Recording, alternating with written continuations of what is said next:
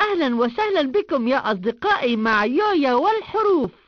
لغتنا العربية لغة جميلة إنها لغة القرآن الكريم وهي علم ونور ومعرفة. نقرأ ونكتب ونصلي ونتحدث بها مع بعضنا بعضا. ألف باء العربية في العلياء. هيا بنا هيا! حرف الهاء. اليوم سنتعرف على حرف الهاء. فلنستقبل ونرحب بحرف الهاء. الهاء.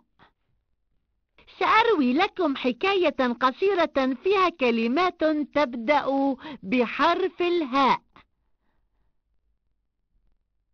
هرة. هدهد هرم. هلال.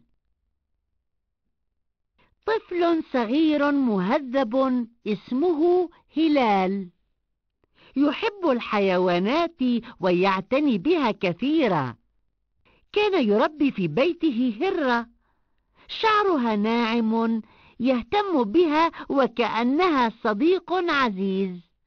وفي يوم من الأيام قدم له أبوه هدهدا جميل اللون ومن كثرة إعجابه بالهدهد وبصديقته الهرة بنى لهما بيتا جميلا يشبه الهرم وظل يعتني بهما وأصبحا أعز أصدقاء. هرة هدهد هرم. هلال. إلى اللقاء مع حرف آخر من حروف الهجاء.